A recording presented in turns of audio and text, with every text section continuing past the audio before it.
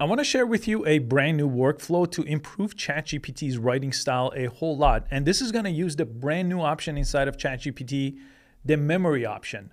So you only have to do this once. This is a simple workflow. It's going to use three different prompts across three different steps. It's going to take less than 10 minutes. And once you do this, your ChatGPT account will have this memory. So every time you start a new conversation, every time you give it a new prompt, you do not have to do this and go through the prompting again. It's a one time thing thanks to this memory option. And if you use ChatGPT to write anything for you, this is to vastly improve it. And that's email copy, blogs, script, really anything that ChatGPT is writing for you now. Once you set this up in its memory, you'll see a vast improvement. So, the very first step of this process is to get ChatGPT to analyze a writing style. This could be something that you wrote, so that's what I'm gonna do to mimic my own writing style. But you could also do this with other people's writing style if you wanna mimic their tone, their voice, and the writing style too. And the prompt is a little bit involved here because we wanted to analyze the different portions of it. We're not just going to say analyze this writing style because we want to specifically tell it what part and what different things about the writing style we want to mimic. So I have this prompt here, and I'll include a resource at the end. You could get all these prompts, but basically, we are going to have ChatGPT analyze the provided text, and it's going to analyze it in many, many different things. It's going to analyze it for its tone and voice. It's going to analyze it for its sentence structure. It's going to analyze the vocabulary usage to figure out how complicated or simple the vocabulary is. Again, because we're giving it a sample, it will actually go and take a look and figure that out. And there are a few other things here that really take it to the next level, but it's I think six or seven different things that I added to it. And then it says once you complete your analysis, give a full breakdown in bullet point format. And then this is where you would insert the text here at the end. So right now, we just wanted to give us a bullet point format so we could then take a look before we ask it to actually commit this to memory, which I'll show you how that works in a second. And here I'm gonna use the transcript from my own video. Every YouTube video has this by default. So if you haven't seen that, if you go to any YouTube video, this is the one I just made about ChatGPT memory. If you wanna watch this, it's a more deep dive into what memory is and how it works. But if you click on the description of any YouTube video and you come down here and click on show transcript, it puts the transcript over here. So then if you click right here and hide the timestamps, you could then take the entire transcript, just go ahead and go all the way down. This is, I think, a 12 minute video, so it's pretty long. But ChatGPT is going to be able to use this and then go back to ChatGPT and paste it. So this is going to be quite a bit of a long prompt, right? So we had a long prompt to start, and then we're pasting 12 minutes worth of a transcript. And I should mention this. This right now, at some point, they're testing this with free accounts too. But right now I'm using GPT Plus. GPT Plus members have this memory option. If you do this right now, this first step does work with the free account too. But for us to commit it to memory, right now it's available to GPT Plus users. And as I'm recording this, is not yet available to any account in Europe. They're testing this only with all Plus users in the US and some free accounts too. I'll show you where to check that in a second if you have it or not. But if I send out this prompt in step one, this is the response that it's going to give me in this format. So I'm going to know the tone and the voice. So the tone is informal and informative. This is how I typically talk. So I like to keep all my writing the same conversational and friendly aims to educate the readers in a casual and approachable way right my own writing style again you could do this with any transcript any blog anything on the internet basically as long as it's a substantial amount of text so it has a good amount to grasp and analyze, examining sentence structure or vocab, or this one, figuring out if I use things like analogies and things like that. The pacing and rhythm, he understands the flow of text, and then he summarized that style. Okay, so if I like this, I could go ahead and use the following prompt.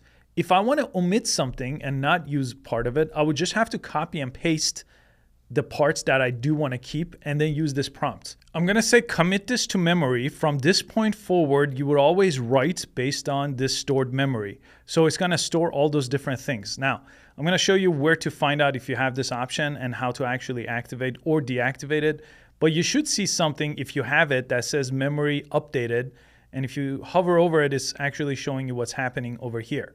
Now, if I want to edit this memory, I could hover and edit the memory. But before I do that, I'll go over here to my settings menu. I'll go right here to settings. And over here, there's a tab called personalization.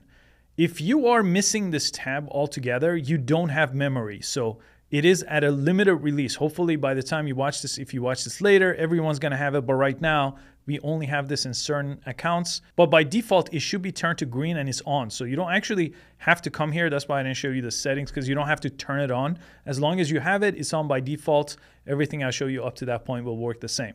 Okay, if you want to manage your memory, you could always press manage and all the memories I've stored so far appear here. And if I want to delete any of them, I could just delete them here and it will forget that memory. And in new responses, it won't pull that into our conversation.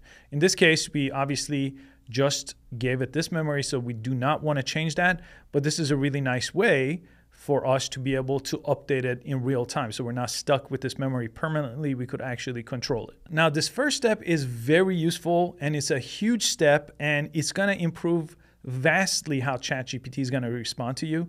But we still have a couple more steps. Step two is we're going to ban ChatGPT from using very specific words. And in a previous video, I mentioned the word delve. I taught you how to actually get ChatGPT to forget that word and not use it in any responses that it gives you. Delve is the most overused word in ChatGPT, but it's not the only one. So here's our next prompt. Every time you respond to any prompt, avoid using the following words or phrases and keep the language simple and direct. So I'm kind of giving it a little bit extra here, but it's not just words. Sometimes it uses phrases pretty frequently too. So as an AI language model, delve, realm, unleash, tapestry, sell into the future. And again, you could take these and you could actually take any of them out that you don't like. Again, this will be in the resource that I'll share with you for downloading. But if you want to remove any of them, just delete it. If you want to add your own, just add it. But th- that will become your prompt. Customize it the way you like. And then at the very end of that, you want to type in commit this to memory. So just in this one prompt, it will do everything you need to. And there we go. It's updating the memory with these words. You could always go back and add to it, delete that memory and add a new prompt just like this with more words. Analyze, ask ChatGPT to write a blog post for you without giving it any context and just go through it and see which words you would never use yourself. We already taught it our writing style or whoever's writing style that you took, so it's to already be limited. But these words are still going to pop up no matter what you do, unless you do this prompt right here as the second step to improve the writing style. Now, that brings us to step number three, which usually we want to control the length of the response ChatGPT gives us. Most of us typically want something on the shorter side or on the medium side. We don't usually need a thousand words unless we're writing a blog or a script or something like that. So that depends from use case to use case. So I have a prompt that actually doesn't limit it, so it still could answer you in one sentence or in a thousand words. But what I'm gonna do is I'm actually gonna create a shortcut so then I could decide how I wanted to answer me. This is the prompt. Every time I type in short, and you wanna put this in some kind of a special kind of bracket, you could put parentheses, you could put question marks, you could put colons, just something because if I don't have these brackets around it, every time I type the word short, it's also going to trigger this. We don't want that. We want this to almost be like a hotkey or a shortcut it could be a key on your keyboard that you never use or a special character, whatever you want this to be. But in this case, I like to format it kind of like this.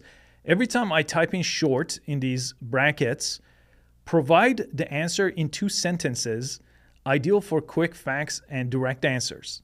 Every time I type in medium, give me a answer that is a paragraph or two. And every time I type in long, again in these brackets, Give me detailed explanation and comprehensive insight suitable for in-depth analysis. And then at the end, I always say commit this to memory. So let's go ahead and send this out. And now that the memory has been updated, this is how simple it is to use this kind of prompt, right? So if you want a short, very brief answer, it's always gonna know to do that now because this always has it in any chat inside of any memory. In fact, let me go to a brand new chat just to show you this doesn't have to happen in the same chat. It will always be there on your account. So if I type in short and explain digital marketing, this is always going to be one or two sentences on the short side. But if I type in medium and explain digital marketing, same exact prompt, right? It's going to actually be able to go a paragraph or sometimes two paragraphs. That's based on the prompt that I had based on medium writing.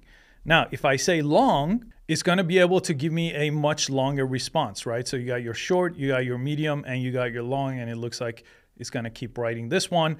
You could limit this. You could get those keywords long to be more specific. You could give it feedback like make this SEO friendly, make the headline bold, all kinds of different things that you could give it when you train it based on that memory. And every time you type in long, it's going to know that. Now, you could build custom GPTs to do all these same things too. So I have custom GPTs that basically go through these same three steps minus the memory part. And I really fine tuned those as well, kind of got them to do exactly what I want for different use cases. I have a different custom GPT video too on this channel. And this resource guide, this workflow here with all the prompts, I'll include that as a download that you could get for free. And I'll send you other resources too if you're a part of our email list. We have a free email list where we send out free different downloads and newsletters as well that you could obviously unsubscribe to at any time. I hope you found this useful. Thanks for watching. I'll see you on the next video.